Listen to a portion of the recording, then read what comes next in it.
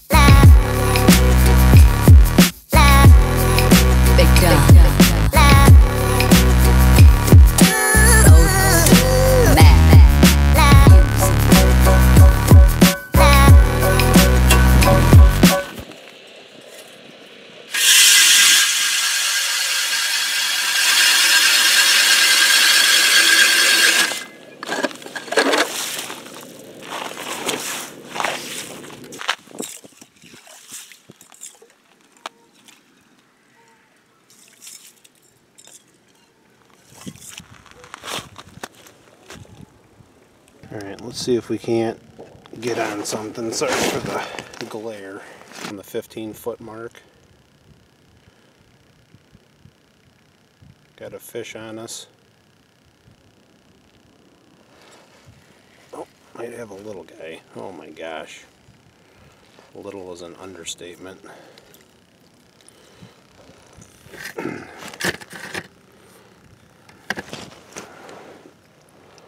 little bluegill.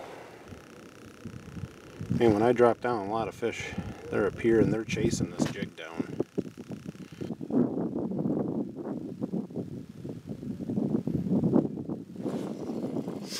There's another one. Little guy. Little crappie. Little guy. This lake has a lot of little fish. We'll have to sort through them today. That's for sure. I'm just using a what it is is a green banana grub with uh, red spikes. Still got still marking a ton of fish. We're gonna get back down there.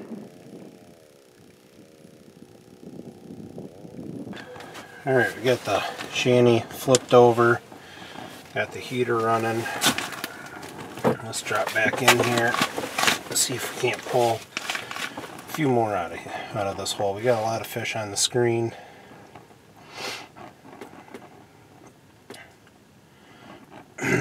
Looks like a big one there, about 11 foot. He's coming up to it. Let's see what it is. Might be a crappie being suspended that high. Boom. Got him. Feels like a little bit of a nicer fish.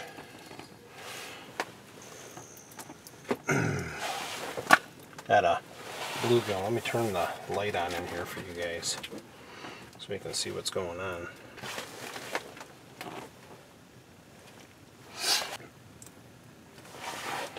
Not bad.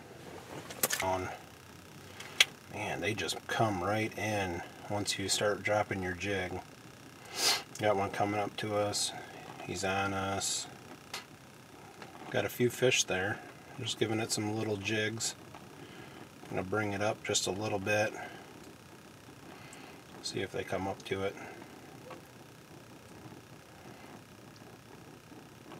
There's one coming up to it. This lake isn't known for. There we go. This lake isn't known for uh, big fish by any means, but it's fun to come out. At least you're catching something. Another gill. little guy. I'll pull you guys up quick in case you're wondering. I'm fishing in a, uh, it's a uh, clam Kenai Pro Stealth. So it's got the uh, overhead overhead storage here. This one came unclipped. Um, overhead storage and got the light LED light bar. So it's a pretty pretty sweet setup. I don't know if the lens is fogging up or if it's the screen that's fogging up. Maybe a little bit of both. So yeah, pretty nice. I like it. Battery battery sits down there in the corner. Can't see it, it's too dark.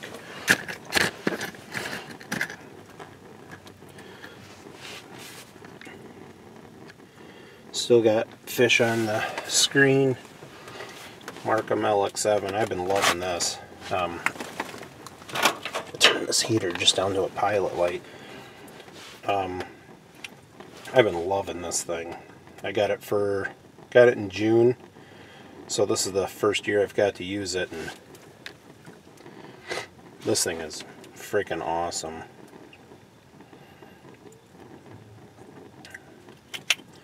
There, that fish just came right in from the side.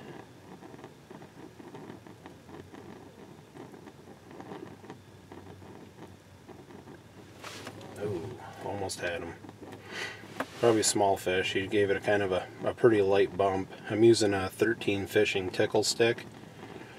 Uh, I think it's a 23 inch ultralight.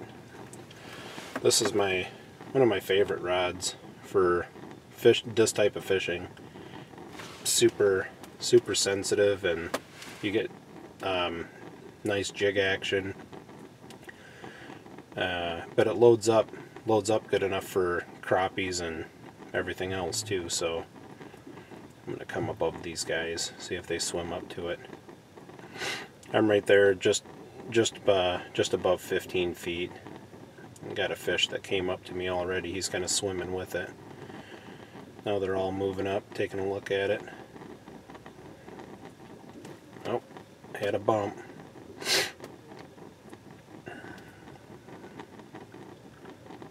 Sorry I'm sniffing, kind of getting over a little bit of a cold, but see if they come up again. Man, that fish there, he's really interested. He keeps coming back up. There we go. This is going to be a little guy, I can tell already. Really little.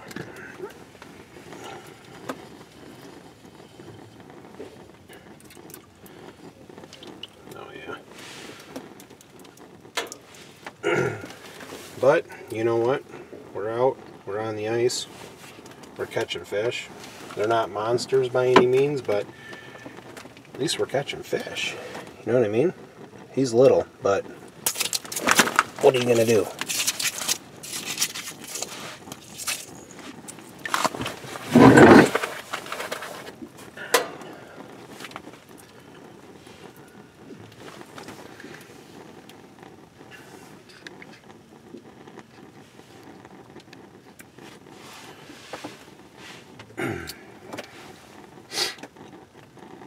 So for anyone that's not familiar how a flasher works, you can see this line right here. That's my jig coming down the coming down the water. So when I raise it, it comes up. Um, that's what you're looking at. So that way you can see your jig. Now that line that just came in there around 10 foot, that was a fish. We're going to drop down and see if we can't pull something off the bottom. The bottom's a solid red. You can see my jig is just above that line. It's just a faint blue. Zoom you guys in just a touch so maybe you can see it a little better. There we go.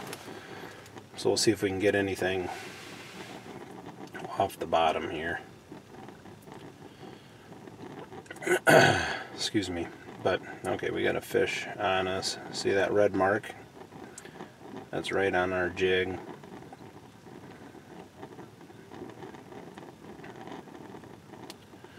Got one above. So let me, I'm going to raise up. See, they're chasing me up. So I got one right on us right now. Oh, missed him. Missed him.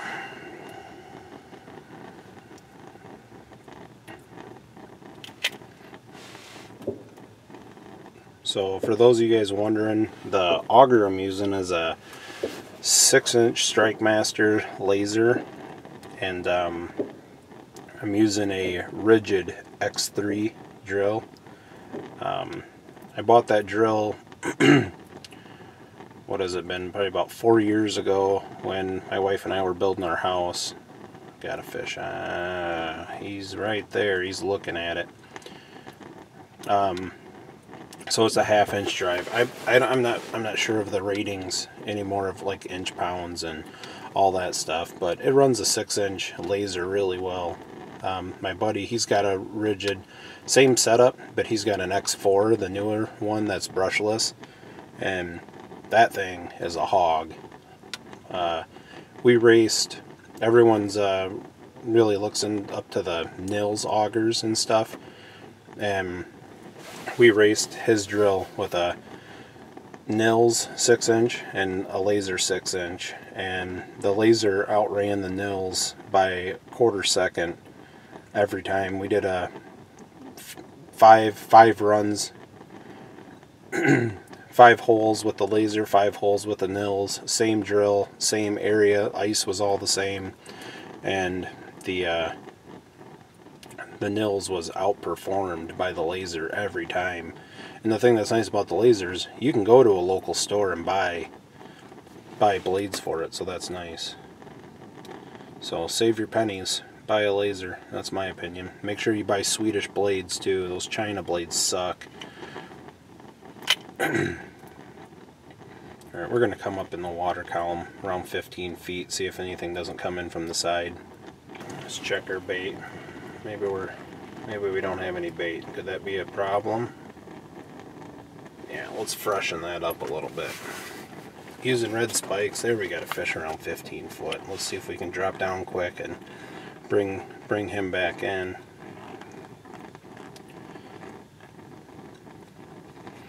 I've had the best luck with red spikes at this lake. There he is. Let's see if we can't get him to hit.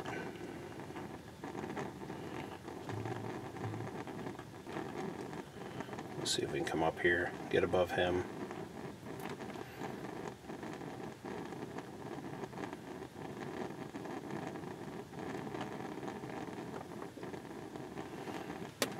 He's not interested. Drop down here. got some fish coming in off the side, off the bottom. Oh boy. There they are. Oh, come on.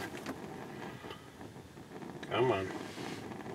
That's the thing that's awesome about this tickle stick is it is so sensitive. Even these real small fish that are like minnow size, you can still feel them. Oh my gosh.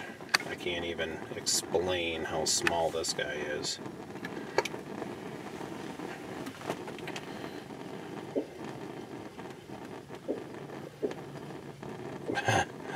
Are you kidding me? Look at that. Puny.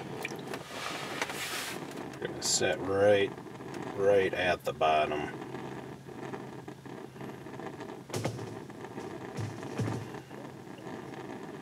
Just barely off the bottom there. Oh, that one felt like a little bit of a nicer fish. Let's get back down on there.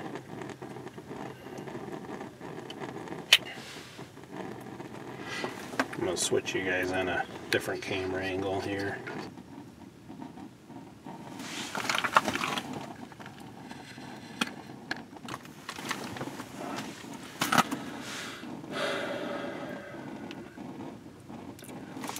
Ooh. Where's our jig at? Oh, we're way, we moved way up drop back down here. So yeah, this is a first video that I've done like this. If you guys like it, leave a thumbs up and I'll try to get more videos. Uh, once it comes in the fall, we'll do some duck and goose hunting. Let's do some shooting videos. Over the winter, we'll kind of do some ice fishing like this and kind of do a little bit of everything. This heater, man, I tell you what, these insulated shanties, it does not take long. I run this thing on a pilot light more times than not. It is so, it gets so warm in here.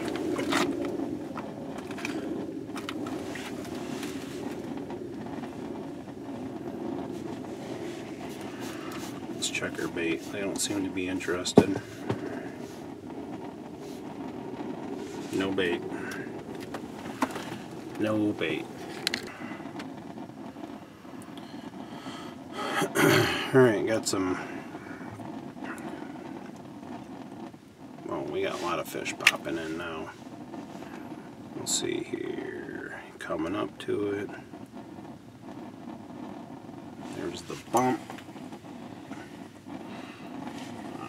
Man, little guy.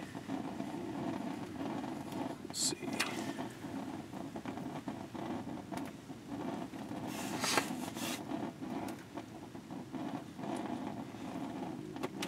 Think he's smaller than the last one. I can't even hold him to even show the camera.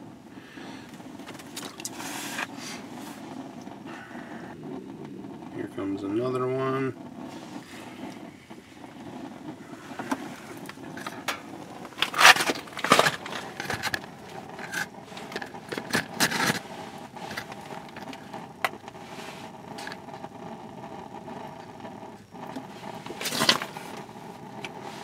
We're at 10 feet dropping.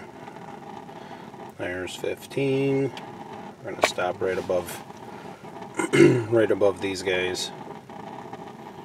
And they're here they come. They're gonna come take a look. There we go. Still pretty small. Still small.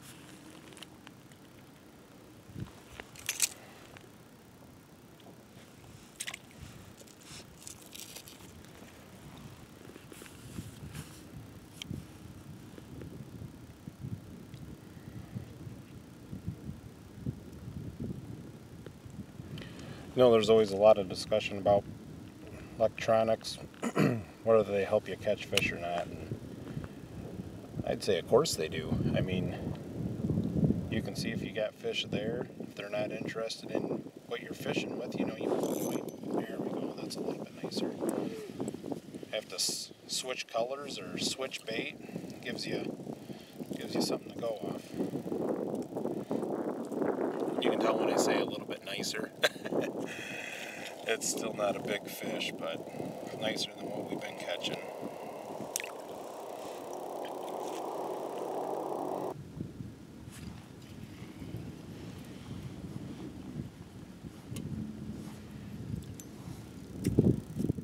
Yep.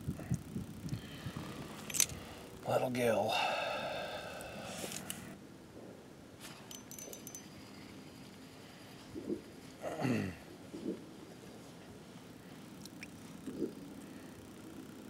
Huh. He's nicer. He's quite a bit nicer.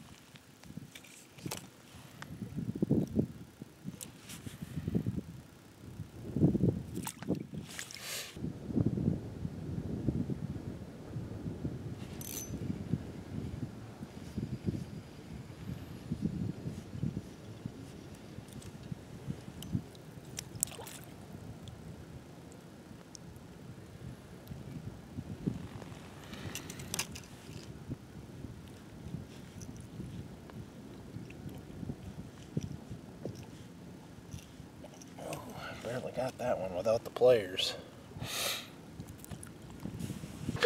Okay, guys, so the camera died while I was out, so I'm back home as you can see. Say hi, Reed. Hi, William. And uh, we're getting ready for the Super Bowl, and I'm gonna put this video up for you guys. So, probably was out there another half hour, 45 minutes before the camera died, and probably caught, I'm gonna say around 25, 30 fish. So it was kind of slow. It picked up a little bit, but naturally the camera was dead. So we'll get you guys out there again before the ice, before the ice leaves. So thanks for watching. Thanks for watching. Bye. Bye.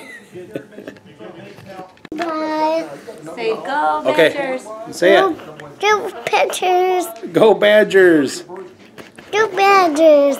Okay. Say bye. Bye.